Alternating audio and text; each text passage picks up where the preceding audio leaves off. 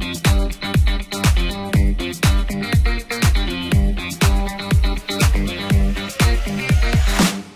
Fala galera, tudo certo com vocês? Sou o Sandro, sou coordenador do Poliedro de Campinas e também professor aqui com as turmas.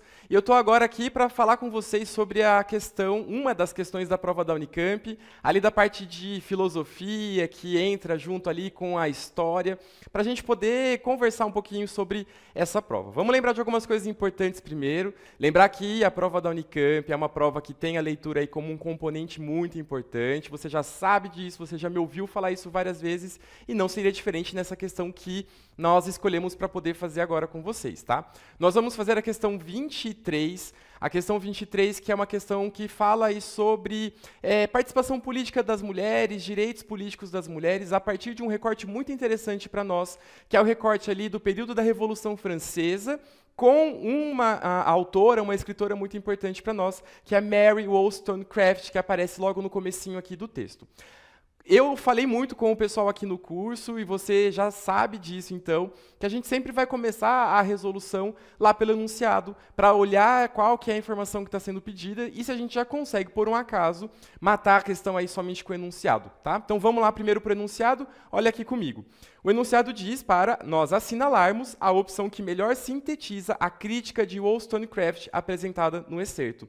Aqui já tem uma informação importante. É uma crítica dessa autora a algo que pode ser facilmente percebido por nós aqui quando a gente conhece o contexto em que a autora viveu, tá? Então vamos puxar das aulas de história de Revolução Francesa, aquele momento da Revolução Francesa em que existe uma participação de mulheres como a Mary Wollstonecraft se posicionando contrária aí a uma exclusão, se posicionando contrário à não participação das mulheres nas tomadas de decisões políticas dentro ali desse contexto revolucionário, beleza? Esse é o nosso contexto importante, vou até dar um destaque aqui para para a gente que a gente está falando de uma crítica que a autora está produzindo nesse momento em que ela viveu e que ela acompanhou. Agora a gente vai subir ali na questão para o enunciado, para aquilo que vai nos orientar em relação à resolução. Bora lá? Então olha o que está dizendo a prova. Mary Wollstonecraft abre a sua obra Reivindicações dos Direitos da Mulher, 1792, data importante aqui para gente, contexto revolucionário na França, com uma carta ao senhor Talleyrand Perigord, Perigord, vamos lá, fingir que a gente sabe falar francês antigo bispo de Autun e político ativo durante a Revolução Francesa. Se tinha alguma dúvida em relação ao recorte temático, esse, essa dúvida acabou de ser solucionada. O bispo propõe nova constituição, constituição desculpa, o que foi apresentado e discutido na Assembleia Revolucionária. Nessa carta, Wollstonecraft afirma: agora sim a gente chegou aí no documento que está sendo utilizado na questão. Então vamos lá. O que, que disse a Mary Wollstonecraft? Mas, se as mulheres devem ser excluídas sem voz da participação dos direitos naturais da humanidade, prove antes, para afastar a acusação de injustiça e inconsistência, que elas são desprovidas de razão. Veja só, se as mulheres devem ser excluídas, ela não está dizendo que devem, ela está argumentando aí numa hipótese. Se as mulheres devem ser excluídas, você tem que primeiro, senhor bispo, senhor político, você tem que provar que é, cadê ela? Injusta e inconsistente a acusação ali de que elas são providas, desprovidas de razão. A ideia aqui argumentava-se, dizia-se que as mulheres elas eram desprovidas dessa capacidade de argumentação, de raciocínio, por isso excluídas da política. A Mary Wollstonecraft, então, ela começa provocando o bispo, dizendo: prova que não é verdade de criticar esse pensamento, prova que as mulheres de fato são desprovidas, que aí a gente vai pensar e vai aceitar o que está sendo dito, beleza? Continuando, de outro modo, essa falha em sua nova Constituição sempre mostrar, mostrará que o homem deve, de alguma forma, agir como um tirano, e a tirania, quando mostra sua face despudorada em qualquer parte da sociedade, sempre solapa a moralidade. O que, que a Mary Wollstonecraft está dizendo? Está dizendo que, se eu quero dizer para, as, que para todos que as mulheres devem ser excluídas da política, eu tenho que provar que elas são desprovidas de razão. Se eu não provo que elas são desprovidas de razão e eu mantenho a exclusão das mulheres, eu estou caminhando com a tirania e a tirania a moralidade, ou seja, seria imoral manter as mulheres afastadas das decisões políticas. É isso que o texto está dizendo, é essa a crítica que Mary Wollstonecraft constrói nesse contexto. Vamos olhar as alternativas agora, então, para a gente achar essa informação. Letra A. Ao abordar tanto a possibilidade de uma nova Constituição quanto a tirania masculina, Wollstonecraft faz uma crítica ao absolutismo, finalmente derrubado, através da instauração da República e da Declaração dos Direitos do Homem no contexto da Revolução Francesa.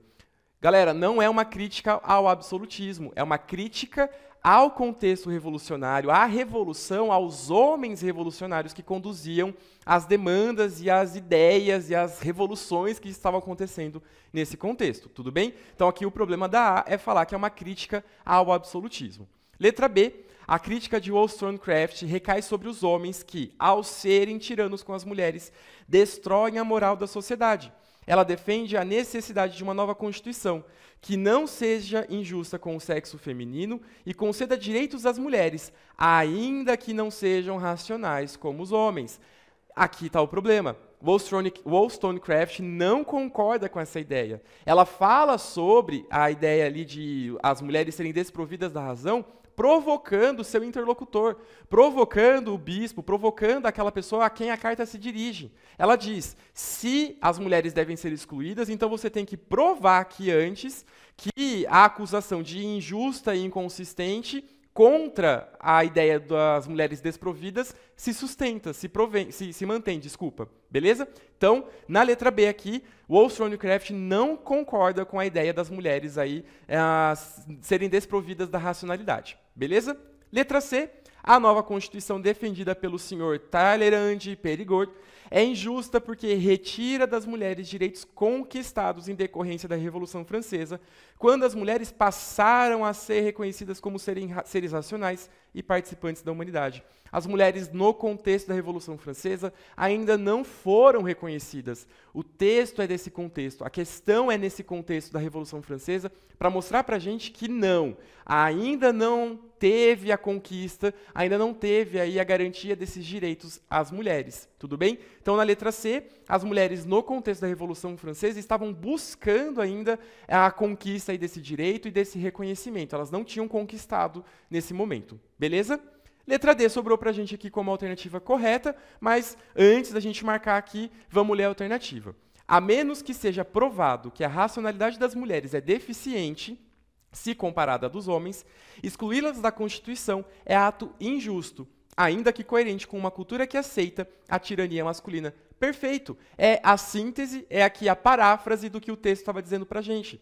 A menos que seja provado que a racionalidade das mulheres é deficiente, se comparada à dos homens, excluí-las da Constituição é ato injusto, ainda que coerente com uma cultura que aceita a tirania masculina. Cultura que aceita a tirania masculina é a cultura dominante no contexto da Revolução Francesa, que mantinha ali os homens como sujeitos dotados do direito e da capacidade de tomar decisões, de falar sobre os rumos da revolução e inclusive decisões e rumos que afetavam a vida das mulheres. E aí a provocação da Mary Wollstonecraft como uma boa intelectual que viveu o seu momento, que se incomodou com o momento em que vivia, é de dizer: se ah, vocês provarem que mulheres são realmente desprovidas, não são iguais aos homens, então, ok, a gente segue com essa, essa impossibilidade de participação política. Do contrário, se torna aí injusto, se torna amoral. É, uma, é sempre solapa a moralidade, como ela coloca na sua carta. Beleza? Fechou então aqui, letra D é a resposta correta dessa questão. Uma questão muito tranquila, uma questão aí que está olhando muito para um contexto histórico, trazendo uma grande intelectual, um expoente aí do pensamento, ah, que fala sobre a participação, a presença das mulheres nas questões políticas, e aí a gente fecha essa questão pensando essa crítica da Mary Wollstonecraft ao contexto e ao momento em que ela vivia. Beleza? Beijo, gente, até mais.